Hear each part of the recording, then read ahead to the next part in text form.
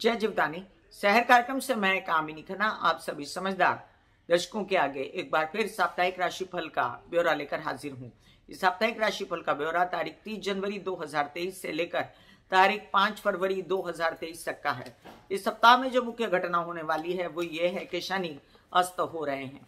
अभी शनि 17 जनवरी को कुंभ राशि में प्रवेश कर चुके थे, लेकिन अभी उन्होंने गति पकड़ी नहीं कार्य के लिए। स्वराशि में तभी वो अस्त होने की खबर आई। हालाँकि शुक्र उनको सपोर्ट कर रहे हैं, शुक्र साथ में है।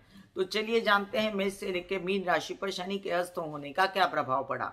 मेष राशि, शनि आपके लाभ भाव में बैठे हैं और लाभ भाव के स्वामी हैं तो पैसा दे रहे थे। पैसा आने में थोड़ी कमी हो सकती है, कार्यों की गति धीमी हो सकती है, लेकिन नहीं आएगा पैसा, ऐसा नहीं होगा। विवाहित जीवन का सपोर्ट रहेगा, परिवार के सपोर्ट से कुछ न कुछ काम बनता रहेगा। वृषभ राशि आपको शनि दशम भाव में बैठकर कार्यों को उछाल दे रहा था। काम बहुत बढ़ रहे थे। अचानक से कार्यों में थोड़ी शिथिलता आएगी, लेकिन काम बंद हो जाएगी, ऐसा कुछ नहीं है। और आपके भाग्य की उन्नति होती ही रहेगी। आपकी पर्सनैलिटी और आपके पौष से या आपकी हिम्मत से ये काम बनते रहेंगे। अट्रैक्शन से भी आपके काम बनते रहेंगे। ये भी याद रखें कि आपके लोन्स वगैरह भी खुल जाएँगे। मिथुन राशि माइंड फ्रेश रहेगा। और माइंड फ्रेश रहने के कारण डिसीज़न सही होंगे। आपके विदेश रिलेटेड काम बनते रहेंगे और आपके कुछ ऐसे काम जिसमें आपका भाग्य साथ देगा। आपको ऑफर्स जो नए नए आ रहे थे, वो नए नए ऑफर्स फलीभूत हो जाएँगे और बड़े भाई बहनों से सपोर्ट मिलेगा। हालाँकि शनि अस्त होंगे तो आपको कुछ न कुछ कार्यों में गति जो है ठंडी होती नज़र आएगी। कर्क राशि, शनि अष्टम में बैठकर तबीयत अच्छी कर रहे थे क्योंकि वो अष्टम के स्वामी हैं। अचानक से शनि अस्त होने के कारण आपको थोड़ा बहुत शिथिलता महसूस होगी, तबीयत के अंदर अपने कोई भी कमी के लिए आप एक्सरसाइज योग मेडिटेशन प्राणायाम करते रहें। विवाहित जीवन और व्यवसायिक जीवन के पार्टनर से फिर भी आपको सपोर्ट मिलेगा और कार्यों के लिए आश्वस्त रहें क्योंकि शुक्र आपको निरंतर लाभ कराता है, लेकिन इन्वेस्ट करना इन दिनों का फंडा नहीं होना चाहिए। सिंह राशि आपके लिए सप्तम भाव में बैठा शनि आपके विवाहित जीवन और व्यवसायिक जीवन के पार्टनर की उन्नति दिखाता था। आपको कई सारे काम करवा रहा था, लेकिन आपके शनि के अस्त होने के कारण आपके कुछ ऐसे काम जिसमें लोन्स वगैरह शामिल थे गति स्लो हो जाएगी और आपके कई सारे ऐसे काम जिसमें आर्ट और मीडिया समाहित है तो वो काम आपके गति फिर भी पकड़ते रहेंगे और उनसे व्यवसाय बढ़ता रहेगा, यात्राओं में भी लाभ होगा। कन्या राशि, आपके लिए शनि के षष्ठ भाव में बैठने से आपके लोन वगैरह खुले थे, विदेश रिलेटेड काम और कई सारे काम बढ़ रहे थे।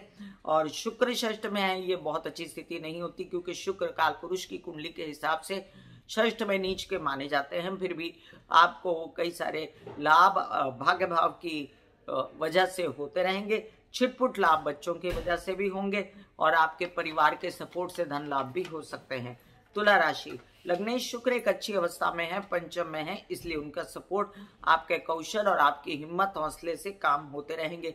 तबियत संभालिए अपनी और उसके लिए आपको अभी डिसीज़न आपके सही नज़र आते हैं, उस पर अड़िग रहिए। शनि अस्त होने से थोड़ा सा माइंड लेजी या शिथिल हो सकता है, बच्चों की भी स्थिति रह सकती है, लेकिन इतनी खराब स्थिति नहीं होगी। आप मेडिटेशन एक्सरसाइज योग, प्राणायाम करते रहें और शिव जी की आराधना करते रहें। वृश्चिक राशि आपके चतुर्थ भाव के स्वामी शनि जो हैं, वो अस्त हुए तो आपको घर परिवार में जो कमी नज़र आएगी, आपके रेनोवेशन या आपके हेल्पर्स या आपके घर के प्रॉब्लम्स जो थोड़ा बहुत सिर उठाएँगे, उसके लिए आपको सजग रहना पड़ेगा। हालाँकि चतुर्थ में शुक्र बहुत मज़ा नहीं देते, फिर भी बुरा कोई असर नहीं देंगे। और आपके कई सारे काम जो विवाहित जीवन और व्यवसायिक जीवन के पार्टनर के साथ मिलके होने थे विदेश रिलेटेड काम, थोड़ा ठंडी गति, शिथिलता से चलेंगे धीमे धीमे रहेंगे। धनु राशि, आपके लिए शनि जो है आपके पराक्रम का स्वामी है और पराक्रम में बैठा था, हिम्मत, हौसला जागा था, ज़ुबान पर कंट्रोल आया था, परिवार का सपोर्ट था, लेकिन फिर भी आपको लाभ होता रहेगा छिटपुट और आपके लोन्स वगैरह खुलते रहेंगे, आपके बैंकिंग रिलेटेड व्यवहार उत्तम रीति से होंगे, लेकिन थोड़ी गति धीमी हो सकती है। मकर राशि आपके लिए, आपके लग्नेश शरीयस्त होने पर निश्चित ही आप पर थोड़ा आकर्षण पर, आपके हिम्मत पर कॉन्फिडेंस पर असर तो पड़ेगा। और ये असर ज़्यादा ना पड़े, इसलिए महाकाल, महाकाली की आराधना करते रहें। परिवार से फिर भी सपोर्ट रहेगा, कार्यों में उन्नति रहेगी और माइंड के डिसीज़न सही रहेंगे, इसलिए बच्चों के और आपके व्यवसाय बढ़ते रहेंगे। कुंभ राशि, लग्न में है शनि, जो आपको कॉन्फिडेंस और हिम्मत देता है, लेकिन साढ़े साथी भी है मकर राशि, कुंभ राशि और मीन राशि की बात करते हैं, लग्नों की मकर कुंभ। तो लग्न के लिए बहुत अच्छा है और आपके विदेश रिलेटेड काम जो है, फिर भी करवा रहा था शनि, जो अब आप शिथिलता पाएँगे। हालाँकि घर परिवार से रिलेटेड रेनोवेशन वगैरह दिमाग पर छाई हुई है, काम और व्यवसाय भी दिमाग पर छाया हुआ है तो उसके लिए आप निरंतर कार्यरत रहेंगे। गति थोड़ी धीमी हो सकती है, लेकिन काम रुकेंगे नहीं। मीन राशि द्वादश भाव में बैठे शनि आपके जो प्रेम संबंध है, उनकी स्थिति अच्छी करते हैं, विदेश रिलेटेड काम अच्छे करते हैं, खर्चों पर कंट्रोल करते हैं, उनके अस्त होने की वजह से विदेश रिलेटेड कामों में शिथिलता आ सकती है और आपके जो यात्राएँ हैं, उनमें आपको थोड़ा सा सावधान होना पड़ेगा। हालाँकि विद इन इंडिया यात्राओं में आपको कोई दिक्कत नहीं आएगी। शुक्र बारहवें घर में बैठ के काल पुरुष की कुंडली के हिसाब से बली हो जाते हैं।